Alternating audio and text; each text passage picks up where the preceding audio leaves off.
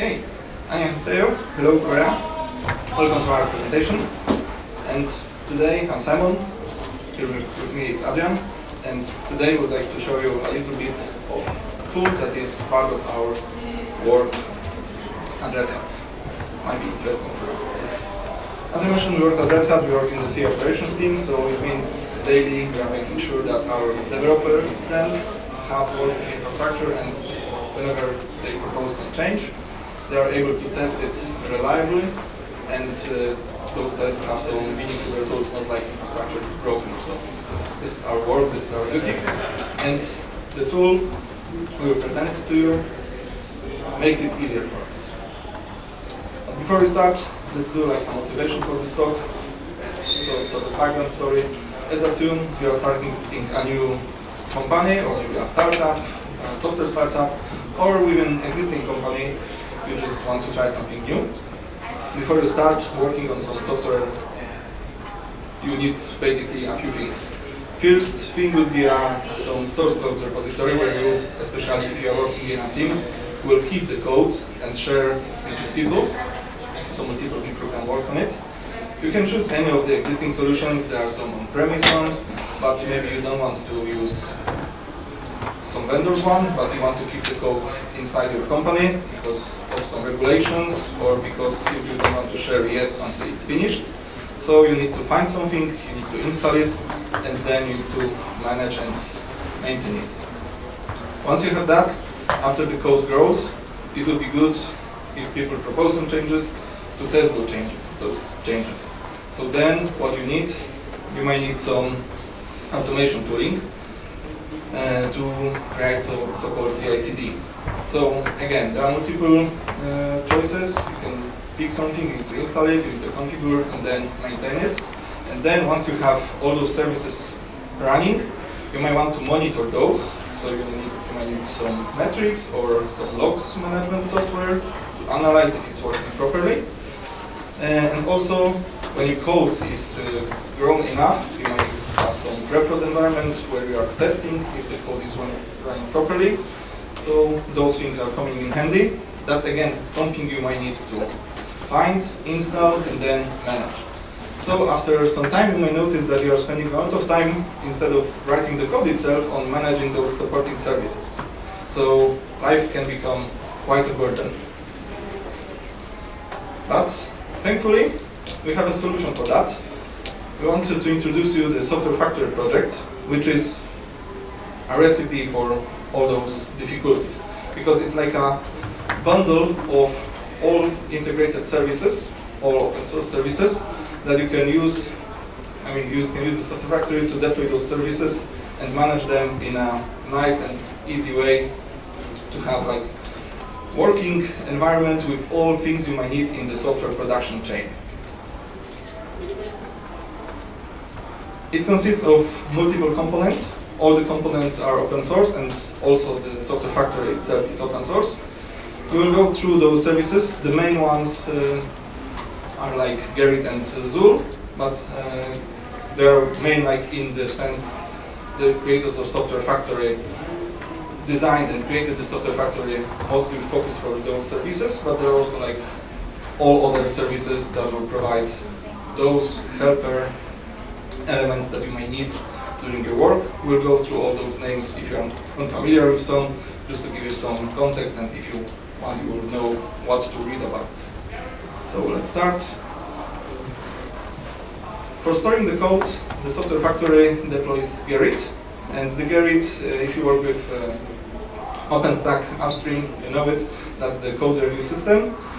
Uh, it's a platform originally that was developed at Google, and it was developed with one main area, main focus on reviewing the code changes and discussion on those changes, not about additional features. So there's no like wiki pages or detailed user browsing home or something like that, some things that you may find, for example, in GitLab, but it's focused on reviewing the changes itself.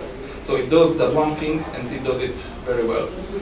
It's heavily integrated with Git, and it supports uh, fine-grained access control. So for example, like voting on changes, with multiple labels, so-called labels, and multiple level of those labels. As an automation tooling uh, for Software Factory, the choice is Zuul, and it's actually Zuul with a part of Zuul, or quasi part of Zuul. It's like Zuul itself can work without it, but it's easier if Zuul works with Nodepool because itself the automation system, the project gating system is so called the website, is Zuul. Uh, but if you want, it's better if you don't rely on static nodes, for example, but for every CI job you have like clean virtual machine, and Nodepool is a tool that can allow, can get you a fresh virtual machine from, for example, a cloud provider and make it as your uh, CI environment. So that's why we have it, those two listed as a separate. It's a complete solution for both continuous integration and continuous delivery. You can do a lot of it with it. It's a pretty powerful solution. And it heavily relies on Ansible. Actually, every job you define in Zuul executes on Ansible playbooks or Ansible roles, or both. And one of the neat features of Zuul, if you don't know, is the built-in support for so-called cross dependencies, cross project dependencies. So if you have like big project that consists of multiple sub-projects or repositories, and you want to make sure during the test that changing one project is not breaking the other, uh, the Zuul provides a mechanism that by putting the depends on phrase in the commit message, it will put into your testing environment and the source code of specific commits and releases.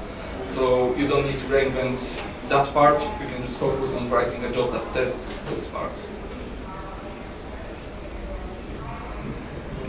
Uh, hello everyone, thanks Szymon for the introduction of Software Factory. So uh, my teammate basically introduced uh, the main components that is basically the main part to deploy Software Factory. It means like um, the three services that he mentioned is basically the minimal architecture. So I will talk about the extra services. Uh, they are not included in the minimal uh, deployment, but you can include them um, as far as you need some of these services. So the first set of components that I will mention now is about system and service metrics. I will talk about these services like just an introduction. I will not go technically uh, with them, just to have some uh, information about what they do in Software. So one of the things that, one of the services that we added as a data collection was Telegraf. And basically Telegraf is a service that was created as an open source project by Influx Data for gathering information or metrics. Um, Telegram, Telegram, basically, Telegraf, sorry, basically works uh, by two sides. The first side is having a script that is doing something to get information. For example, a Python script that is fetching information from an API. And the other side of Telegraf is the configuration file. So basically, this configuration file is, uh, you, you, can set information like how much uh, time should fetch information through the S, the, the script, uh, how many seconds every second should fetch this information, and which is the script that it should call itself. So the good side of Software Factory is that it keeps all the information itself. So if you need to deploy uh, something with these services, for example, the configuration files, it can be included automatically. Uh, we will explain a little bit more with the other components how it works. So the next one is data storage. Is um, we wanted to mention InfluxDB that is also included in the architecture. It's basically also another open source project that is included in Influx Data. It works together with Telegraf commonly, and it's basically a time series database. Uh, how these services work is we have a script in Telegraf that is fetching information from the API. Thanks to Telegraf, we can process all this information and we can send it to InfluxDB. So they work together, let's say. And the third part of this set of components is monitoring and alerting. Uh, well, in this case, we have Grafana. It's uh, pretty common and popular these days. It's basically a data visualization and monitoring platform. We can create dashboards, we can create users, we, depending on the role of the users, we can have some kind of access to some da uh, dashboards or not. We have different kind of visualizations, and we can even create other things. Uh, uh, we wanted to mention about how to manage Grafana via Jsonnet. You have a link if you have uh, data access to the, the slides. You can access to this link. We had a presentation in Berlin some months ago explaining Jsonnet.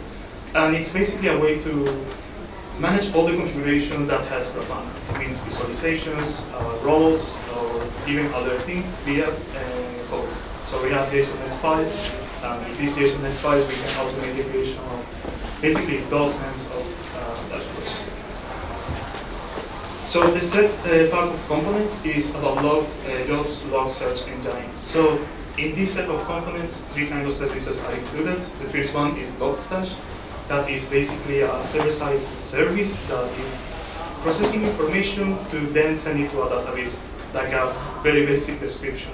So for example, we have a Filebeat service that is getting information from log files as a service, this is sending information to Logstash. Logstash is manipulating this data with a pipeline, and then we send it to a database, for example, OpenSearch. This is the other service that is included here. It's basically uh, analytics engine and database. Uh, here we can store documents or indexes, and it's included also in this uh, component. Why we include this? Uh, one of the examples that we can mention is uh, Simon commented that we have Zuul. Zuul has jobs, it's a CI system. Once we, the, jobs finishes, we need to send information about uh, the result of the logs. So we can configure it in Open in Zuul reporters, and these reporters send information to OpenSearch uh, in a specific index, and then we can process and analyze everything. And well, the fifth part of these uh, components is log reduce it was called log reduce, it wasn't a, it's renamed as log reduce and now. And it's basically a service that can compare the result of a CI job with a, let's say, a base pipeline. And it's very useful to get information about errors. If you have a CI job that contains uh, a lot of tasks, it's producing a lot of log files, and this CI job is failing, thanks to log reducer, we can identify easily where is the failure and in which specific file. Other part of the set of the components is about the identity and access management. Uh, in this case, it's provided by Keycloak. It's a very efficient open source project, and it makes the life easier in Software Factory because it basically provides all the information about authentication in the different services that form part, uh, form part of the components. So for example, if we want to uh, access to OpenSearch, to Gerrit, or to Zuul itself, thanks to uh, we can have information about the users. So why uh, we choose uh, Keycloak in this case. So let's imagine that you have uh, LDAP or you have Active Directory, and you have a configuration in your company with this. You can basically sync uh, very easy the information of the users to Keycloak. So you can manage later, uh, let's say, the role and the access of each one of the users. It also enables single sign-on uh, authentication in the different services that I mentioned. Offers two-factor authentication service. And as I mentioned, it basically makes uh, easier the, the, the user's management. It has a specific management console. You can uh, configure the, every one of the, uh, each one of the users specifically according to the provisions that we want to give. Other part of the component is Hound. Um, it's basically a very fast code search engine. It's really useful. Um, let's imagine that you have a lot of repositories and dozens of them. For example, in, GitHub, in GitLab, in this case on Gerrit, for example, in this example that we have. And for some reason we need to search on a specific line of code, we need to search a specific, for example, uh, task in a playbook of Ansible. And we have a lot of repositories, really complicated to search by one. We can use a Hound uh, basically searching uh, by a word like we can see here, if you search in all the repositories faster, and it will specify which is the file that contains this specific keyword, and it will show also the line. This is pretty useful when you have a lot of repositories. It's very fast, uh, it's very well synchronized, it's doing uh, every uh, certain time is uh, fetching information about repositories. In case if there is a new repository, it will appear in Hound also. And the last part of the uh, components is basically, we call it collaborative tools. Uh, these are tools that can be useful uh, in the team. For example, this one is Etherpad. It's a modern uh, real-time collaborating tool, a document editor. It's, we can compare it like uh, Google Docs because you can have several users at the same time interacting with the documents on the Etherpad. It has a lot of plugins that can be useful to customize uh, Etherpad according to the needs of the team. And also it provides a real-time chat feature in case that uh, is required. Uh, the second part of the service of the components is Lodgeit. It's basically like a paste bin tool. It's very basic uh, tool that let's imagine we need to share a piece of code or we need to share something with the team. We can copy, paste, and generate a link. Uh, we can share it with the rest of the members. And the last part is Mumble. It's basically a voice chat component. Uh, it's integrated also in the architecture of the software factory, and it's basically an open source project that provides uh, voice chat uh, capabilities. It has an encrypted uh, communication, and it works with a public private key.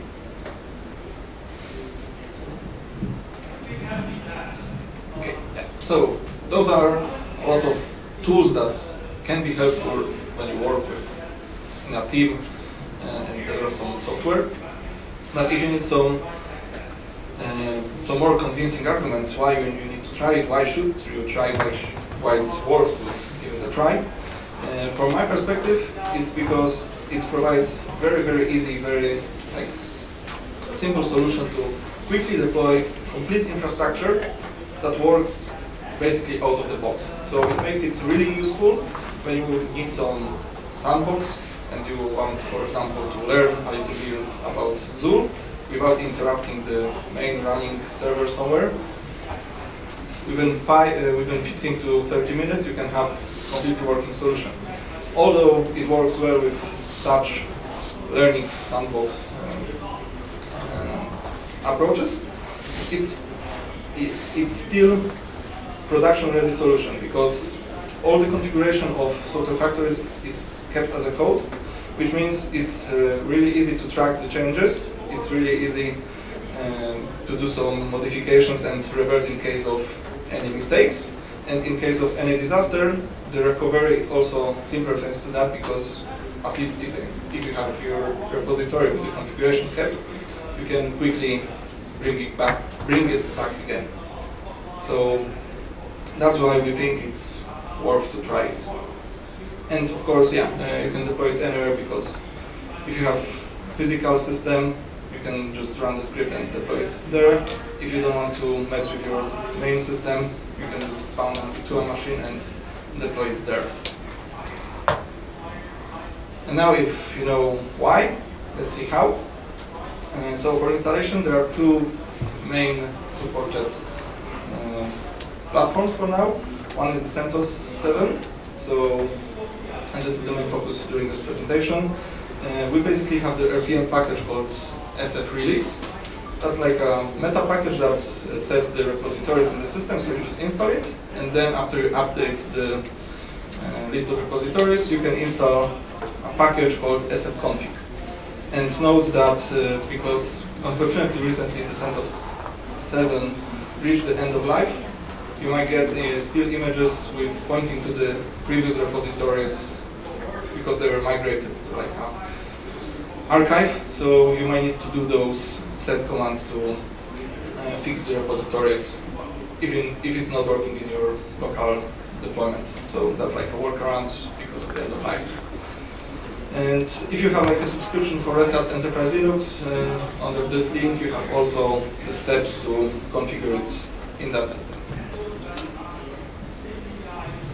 So once you install the sfconfig package, in the system there will appear a directory slash etc software factory, and this is where all the configuration of that tool is. There are two main files that are for the learning purposes interesting for you. The first one is arch.yaml, and this file contains a list of services we want to uh, deploy in our uh, infrastructure. It's actually a list of Ansible roles that should be executed, but those correspond to the services we want to deploy. And then the sfconfig.yaml, which contains configuration of those services. From the first time users and learning purposes, the two important values in the second file are the admin password, because this is how you can access them as a default user and create another users. Uh, so for example in Keycloak. and then the FQDN because this is how the HTTP frontend is configured with redirections to the uh, to the instance. So those are those two. And if you need uh, detailed uh, understanding of what you can set there and how to set, there is the official documentation that is the best source of knowledge. In the last link you can find uh, examples of configuration, so both those links are worth to visit. And then, once you have the configuration in place, all you need to do is execute this command sfconfig, and it will deploy all the requested services and configure them using uh, Podman containers. And it will, if you are interested, it will actually use Ansible roles that are defined in uh, slash user share sfconfig directory. But that's the. The important part is you need to execute that, that command every time that you modify the software factory configuration. So if you want to enable another service or change the admin password, you modify it in this etc directory, and then you launch the sfcon, uh, sfconfig command again. It takes, depending on how much, uh, how many services you want and what is your internet speed, because it fetches the uh, images of the services. So usually it takes between 15 and 30 minutes. After that, uh, it's all ready to be used. And now Adrian will show you a little this presentation. I mean, the slot we have is too short to have the full deployment demo because it will take the, the whole presentation, but I mean, it's not so exciting to see the progress bars, so we just have the working installation. Adrian just show you a little. We put the repository where you have uh, the files needed to deploy it with two, three commands. So if you would like to try, you are more than welcome. Okay. So, uh, my, teammate mentioned the, well, the repository where we can find it. It's basically a Vagrantfile. It's just an example to deploy software factory in a minimal box with CentOS 7 and execute the commands. This is just an example, a virtual machine using a DB provider. So if you go to the CentOS 7 deployment folder and you just have installed the Vagrant and you have the DB provider, you can execute the vagrant up command. And well, the creation of the machine will start the installation of the software factory also. And uh, once everything is set up, it will start running the Ansible playbooks uh, with the tasks and roles of each one of the components. But we will be able to see in the global status of the, uh, the virtual machine created. Uh, one of the things that we need to do is add the IP address to the ETC host in case you want to access to the web uh, interface of software factory. This is like this because the virtual hosts that are configured are redirected to the domain. Um, well, we mentioned the FQDN uh, previously. Uh, well, this is Just a quick note. Just a quick note. That's like workaround. The proper solution is, of course, to put like the FQDN inside the DNS records if you have, but for like development environment on your laptop, this is the good workaround. Yeah. So, well, once you access to the web browser, you will see the minimal architecture uh, deployed. That is basically Gerrit, Zuul, and Kittle. And one of the things that it does during the installation of the software factory is putting the images in each one of the components. And it maps the configuration file of the components to the Podman containers. And well, basically each component is a Podman container that is created in the process of the Ansible playbook. Uh, you can see here that it is a minimal architecture. This is all the services that it includes. And well, Simon just commented that we don't have a lot of time to deploy everything, so I will show something uh, quickly with the, with the Vagrant deployment. So, yes, thank you. So this is, I will so this is basically the vagrant up command is setting up uh, all the information of the Vagrantfile. You can see that it's creating the bots. It's executing several commands, installing software factory dependencies. And if we go down later, we will see that it starts uh, executing uh, playbook. So software factory is installed via playbooks. First, we have, uh, I will show you the Vagrantfile. You will see that uh, First of all, we are doing the set commands because we are using 7, uh, CentOS 7 in this example. We are just replacing the mirror the old repositories that are not working because the end of life. And then we start with the installation of Software Factory. We have it in the, in the line 29, how we get the RPM package. And then in the end, well, we configure the Software Factory. This is the command that basically starts uh, the installation. So if you go inside of the virtual machine, let's just see the global status. You can see that it's running the, the box right now. And if you go inside of the virtual machine, so let's see an example of the minimal architecture.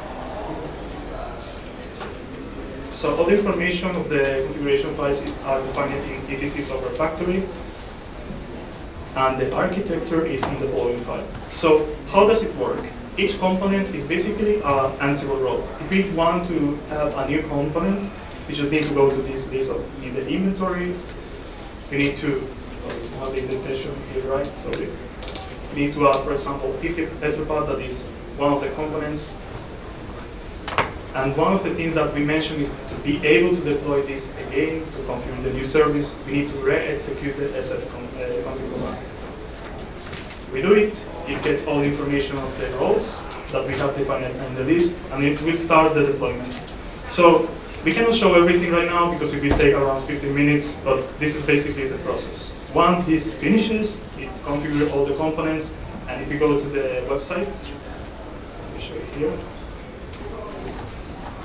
it will basically update the list of the components. Right now, this is the minimal architecture. Etherpad still doesn't appear because it needs to take some time. Uh, other thing that we wanted to show is the Podman containers. Let's go inside in another tab.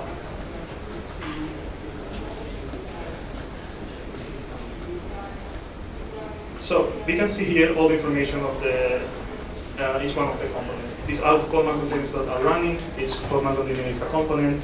Every time that we redeploy, it loads again the configuration and the start the containers. Uh, why it takes some time? because it needs to pull the information, the image of uh, Podman. That's why every time we do a deployment, if we have a new component, it takes some time. And it, in this case, we added the Etherpad image, this is the process. So,